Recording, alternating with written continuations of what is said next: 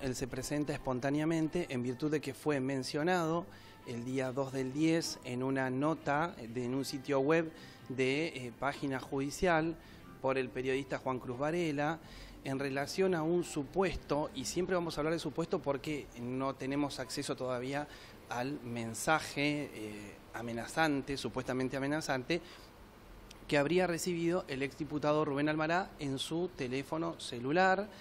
Eh, quedando involucrado también él en eh, una amenaza a él como víctima eh, a la misma par que el señor periodista Daniel Enz y el señor juez Leandro Ríos. Como así también Lucía Barisco y el intendente, ¿no? Lucía Barisco y el intendente.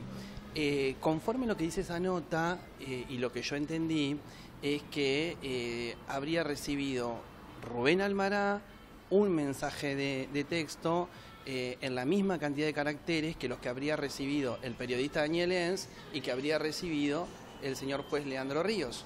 Ahora bien, eh, el señor Rubén Almará eh, recibe a diario cientos de mensajes, como decimos nosotros en la denuncia que presentamos hoy a las 9 de la mañana.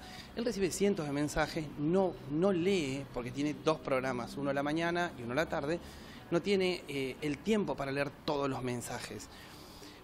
¿Puede haberla recibido? Sí, la pudo haber recibido.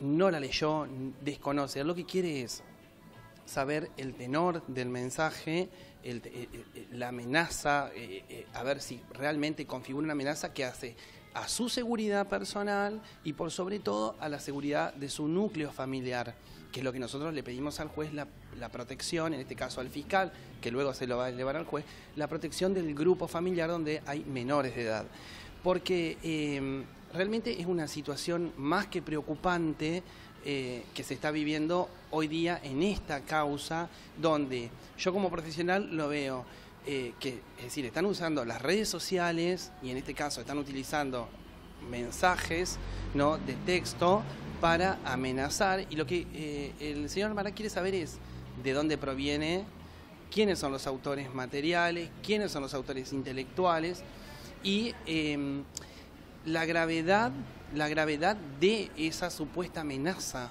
¿no? porque desconoce, vuelvo a reiterar, el tenor de, de, de la amenaza.